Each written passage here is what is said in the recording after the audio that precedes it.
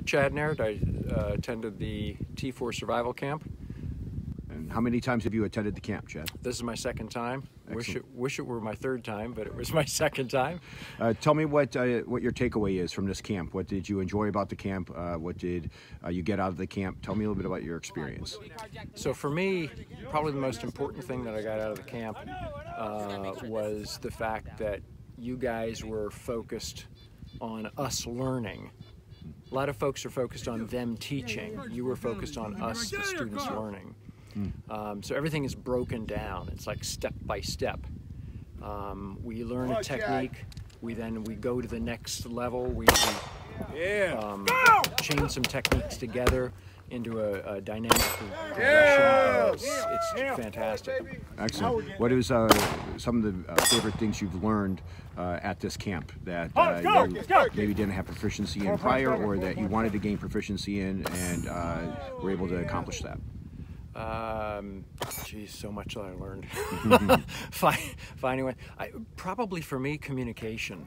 Uh, the importance of communicating with the people around you, whether we're talking significant other, family, friends, uh, somebody you're out with who, who might also be a concealed carry uh, holder.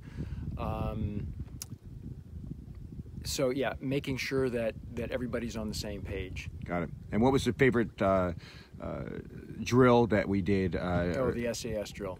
and Hands did- down, that was so fun. you tell us what that was.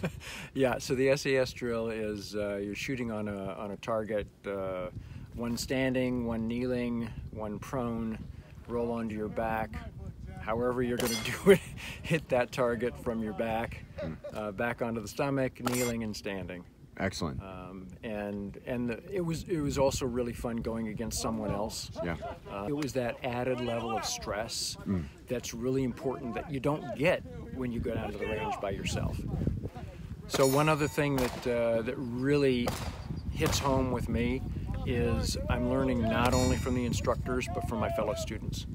Um, I'm learning how to improve my own technique because they're pointing out. In that sense, everybody's an instructor. If they see something that, that you can improve, they'll let you know. And it's all about everybody improving. So you know, we leave our egos at the door, um, and and also just things to make me better as a person. Quite frankly, we're not even talking T4 survival skills, technique. We're talking just uh, you know, sitting around and talking and and learning from each other. Excellent. And uh, what made you want to do uh, the T4 Survival Camp?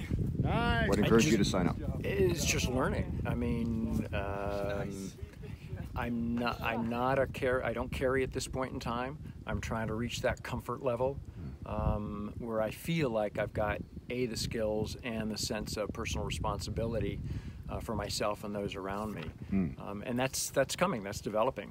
Excellent. Great. Well, thank you, Chad. We appreciate you doing this little testimonial for us. You bet. No problem at all.